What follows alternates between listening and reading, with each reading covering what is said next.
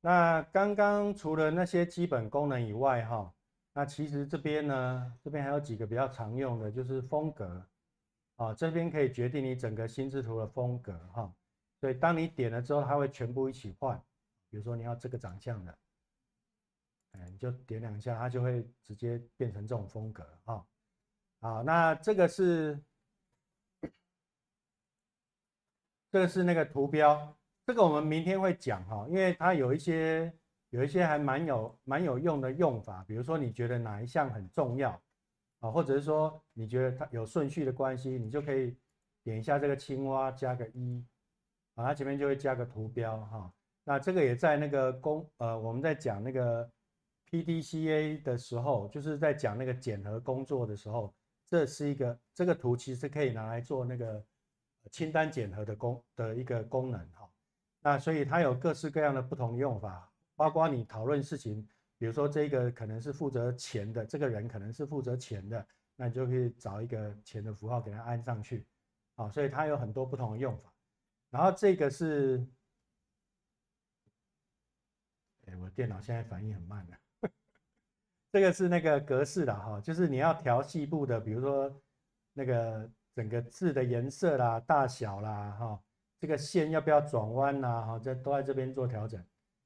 那我就不不讲细细节的部分。好，那呃，我刚刚有贴了一份简报哈，到那个讯息上面。那我也有把它下载 PDF 在呃在那个分享的资料夹里面哈。啊，对，那个启正记得有空帮我截一下那个视讯的图。哎，对对对，就是。包括上课跟那个跟呃没有分享画面那个都是人。好，那这个简报里面哈，呃有一些这个是讲那个工具技能的部分哈，所以我们早上呢有跟各位讲说，哎怎么样在旁边增加节点，这个叫水平扩散，这通常用来用来做那个呃那个叫什么头脑风暴啊。啊，就是你要想很多 idea，就是设计思考的的前面扩散发散的思考那时候，啊，所以写作文的第一步也是这个，啊，说关于毕业旅行，来各位同学想到什么，然后 A 就讲的，B 就讲什么，就是一堆，你就先把它都列在旁边哈，增加节点。那一开始有想法就贴上去，不要带任何批评，你就会有很多想法。为什么？为什么要这么多想法？因为在设计思考里面，你要有一个好的 idea 的前提是，你要先有很多 idea 啊，所以这个就是很多 idea，然后你再从中间去挑选你的 idea，这样哈。好，所以它有助于这个多元的扩散开开发创意了哈。好，所以呃第二个部分哈，当我们刚刚有试过分类，对不对？好，所以你看工作记忆从七加减二变成四加减一，所以各位的脑袋。工作暂存区越来越小啊，所以你在在学东西、在记东西就不能一次太多啊。所以那个教育心理学也有讲哈，就是我们给音架或者给那个学习内容的时候，你就量一次不能太多哈，就一次给一个新的概念，等他学好之后再加一个新的概念，就慢慢去累加哈。所以我们在学东西的时候也是一样，你要给他做简单的分类，那每一个分类最好都在四个以内。啊，如果那个如果那个东西的分类超过四个，能分你就再分，啊，因为这样子会比较好去做学习。然后你也可以用因果啊，用或者用什么样奇怪的分类都可以，啊，这是很很自呃个人的东西了哈。那写作文的时候，如果你后来第二个阶段分类分成四段嘛，啊，起承转合之后，你就可以根据哦这个哎，你们都都是起跟承比较多啊，那个转。就是正向思考的部分哦，发生了什么事？那你最后怎么转念变好的那部分？你们写的太少了，再想一下啊，就可以去调整一下那个架构。那呃，也可以，就是现在很流行那个追，哎，这个好像有有一门专门的课哈。那其实很简单呐，就是一直往下问，好，哎，这位同学，你今天为什么晚到？啊啊，因为我。昨天晚睡，啊啊！你为什么晚睡？啊，因为我昨天晚上打电动到很晚。啊，为什么打电动？啊，因为我觉得电动很好玩，所以所以就觉得很有成就这样，所以我就一直打电动。啊，那为什么？那你那你你没有其他的成就感的来源吗？我说没有，我在学校，我来学校上课，老师都一直骂我，作业都写不好，成绩考得也不好，所以我平常都很很很挫折，只有在打电动的时候可以有一点点快乐啊。所以你追问到后来，那个问题核心就会浮现。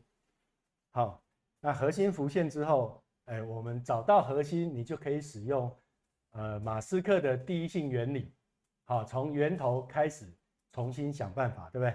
啊，所以那这个也可以这样一直追问下去，好，这个叫垂直探究思考，好，好，所以真相可能不止只有一个了，哈，可能还可以分叉几个原因这样哈，所以都值得你，你可以往下探究的意思了。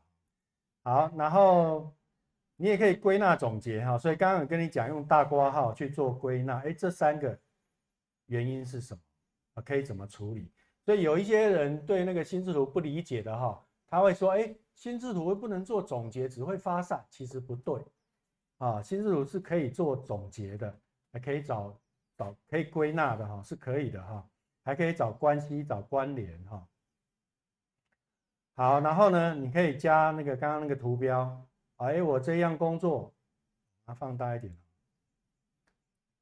哎，我这样工作已经全部做完了哈，这样工作只做了四分之一，那我是不是可以自主学习？我可以去自己检视自己的进度，对不对？好，然后就可以达到那，就是可以真正自主了哈。所以你知道说哦，我还有哪，我总共的工作有这些，那我还有哪些是没有完成的？那我还剩多少时间？我要怎么安排，对不对？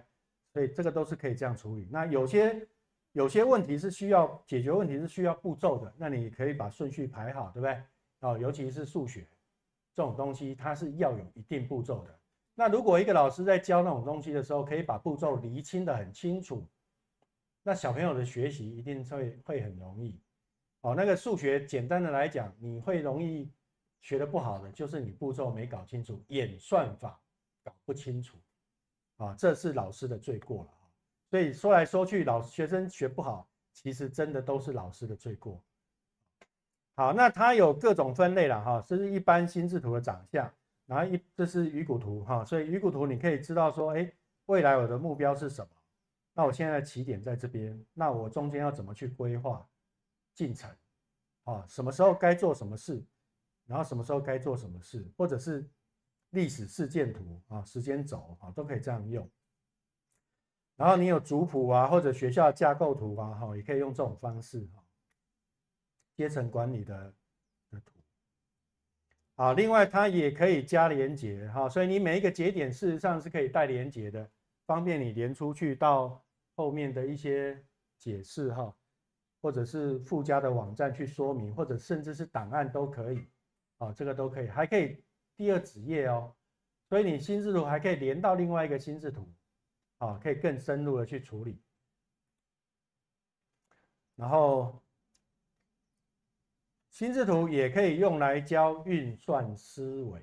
哦，我们科技领域的最最源头的的那个上位思考有两个，一个叫运算思维，一个叫设计思考。好，那运算思维呢，它有五个重点。现在明天也是定这一家吗？对。我明天再把钱带来，钱在学。呃，我我有带钱，他人还在吗？我直接付给他。好，我把画面先还给大家哈。哦哦，好，那你去处理。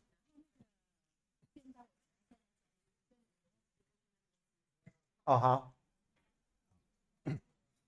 好，那我继续哈。好，那因为这个这个是在我们第四天问题解决那边会讲到这个思考的部分，那我这边就多哎不多琢磨了哈。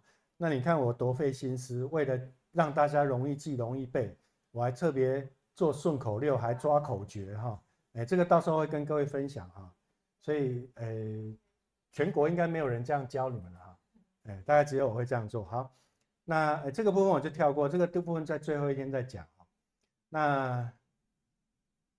所以你会发现哈，其实它可以帮你帮助你很好的思考那我这边要提醒一下，就是工具虽然很好用，但是但是你也要知道怎么用才会很好用，对不对？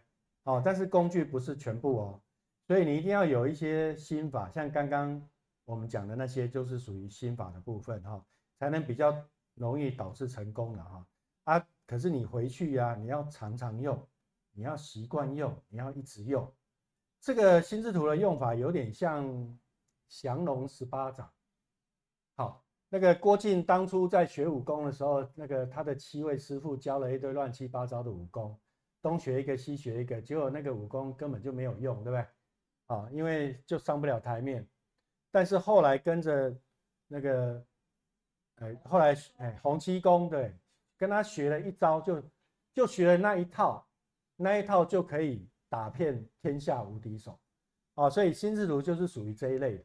所以你不用，可以其实可以不用再去练一些杂七杂八的什么什么小技巧，你就把心智图好好的练一练。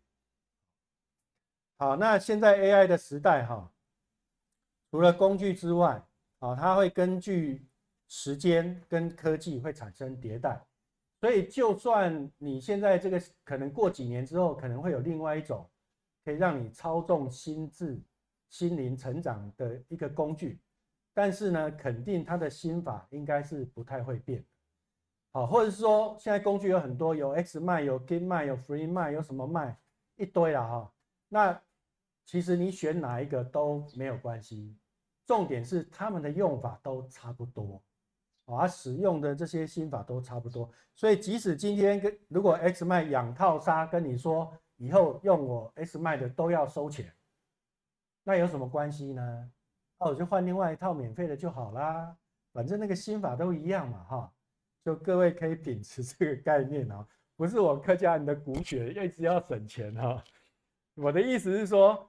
你只要学会那个心法，啊，按你工具可以可以随时可以换都无所谓，啊，那 AI 时代呢，它真的是一个学习辅助的工具，这我们下午会见识到它的威力，啊，但是你的基本一定要会，啊，它就会变成一个加速器，一个放大器，啊，它是一个加速器，一个放大器的啊，好，所以这个部分是新手工具的部分，跟各位做简单的分享。所以，我们从早上，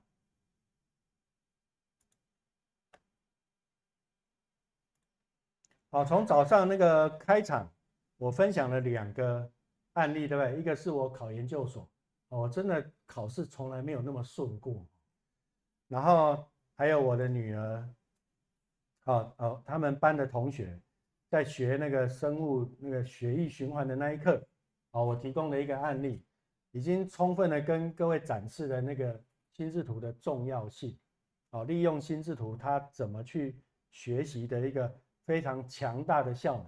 那所以如果你家哈或者你的班上的孩子，或者是你学校的老师，你会发现有一些总是学习一直没有门道，哦，他就是不管怎么样他也不懂学习的方法，就一直学的不好。我相信你可以好好的。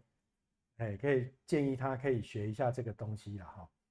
好，那我们我们早上呢，在跟各位讲这些方法的时候，其实新智图的操作，各位应该有发现很简单，对不对？就一个 Tab 按键新增一个节点，然后就可以把你阅读理解到的东西，抽象化的抽象化出来的那个关键的重点，把它腾上去。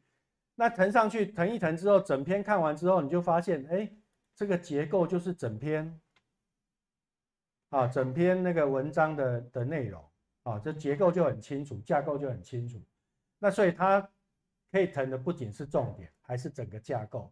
所以当你有当你要学一门新的概念的时候，你对那个领域完全不了解的情况下，你可能去读文章，或者甚至去看影片，好，或者甚至上课研习。你都把它做进这个摘要里面，然后你学的一个东西概念整合完，再学下一个东西的时候，再把它整合进去，然后再看了一段影片之后，再整合进去，你就会发现这个心智图的架构越来越丰富，世界越来越完整，那它就会慢慢的变成这一个概念的学习地图，好，会你就可以看到整片森林，当你可以看到整片森林的时候，你就可以决定说我要针对哪一个面向去加强、去深入，好，你就会成为那个领域的专家。好，所以它是一个既可以看到森林，又可以让你专精于某一棵树木的这个这个很棒很棒的一个方式哦。好，那所以这是早上跟各位分享的一个一个历程，然后接下来后面呢？哦，经过它的这个抽象化的的部分，我们又做了一些进阶的操作，然后你就会发现，哎，透过那个分类的方式，我们可以把它的架构弄得更完整，然后该找的关系找出来，再加上我们找出了关联之后，它就可以很自然的形成一个故事，形成一个画面，啊，然后因为大家都有关系，那个关系就整个连起来了。所以不管是图像记忆，还是故事记忆，还是关联记忆，全部都融合在一起。好，那这种多，而且你还加入了那个身体的感官嘛？哈，你看到那一只蝴蝶那么快乐的在飞，你感受到那一只鳄鱼的快乐，哈，那个午餐就要来了，哈，对，啊，你感受到它的情绪，看到它的这个生动活泼的这个这个视觉的效果，啊，甚至。你想象你是那个泡木桶的女生啊，那个温泉的呃温温泉的水温度那么刚好哈，多么的舒服，沉浸在那个里面哈。然后你可以去透过再透过冥想这些整个故事的情节，好，那就把你的身体的感感官什么就全部都连在一起。所以不管是多元智慧还是多感官学习，全部都融合在一起了。所以透过你这样的操作之后，你就会发现，所以今天上午这个故事。就让你完全的记忆深刻，然后该学的也学了，啊，那不仅学到那个那十大社会理论，你还学到这整套的一个学习的方法，好，那下午的部分呢，我们就会进到 AI 的部分，好，刚刚也跟各位说明那个新智如其他的工具的呃使用的方式跟可能的面向，好，那下午我们会针对 AI 的部分怎么帮助各位各。更进阶、更迅速的来使用这个部分。那明天，哦，今天是主要是针对学习的哈。那明天呢，会是个人成长，啊，就是你的个人的心智成长。所以我们会进到那个高阶思考，啊，高阶的思考那个应用啊、分析啊、综合评鉴那个部分，然后也会跟你讲高呃个人成长的心法，也就是只要上了明天的课。你就可以直接达到课纲的最核心，个人的终身成长的那一块，其实没有很难，就是一个对，就是一个心法而已，真的没有很难。那你会发现老师都没有教，可是课纲的圆圈，课纲那个圆圈的最中心就是这一件事啊，终身自主成长这一件事，明天就可以做得到。好，嘿，对，然后那个第三天哈。第三天我们是学什么？学第三天是学那个，哎，我这边还没写了哈。第三天是学学校怎么，你学校要教学，你要怎么样催眠学生啊？你要去外面做推广，你演讲上课，为什么你的课大家很喜欢听，听了又能够很有收获？它有一些美感啊，那也有一些心法在里面，对。你有没有觉得今天早上上我的课特别受用？不管是情绪上的，还是理智上的，还是真正真正那个技巧上的，都有学到一些事情哈。这其实就是有一些方法，包括我今天，呃，等一下我今天安排其实有哈，有这样的安排了哈，就是哎，今天啊，在这边，那个各位可以发现，这前面最前面的开场，我讲两个故事，是不是带动你的情绪？你有没有感受到新思路真的很好用，很神奇？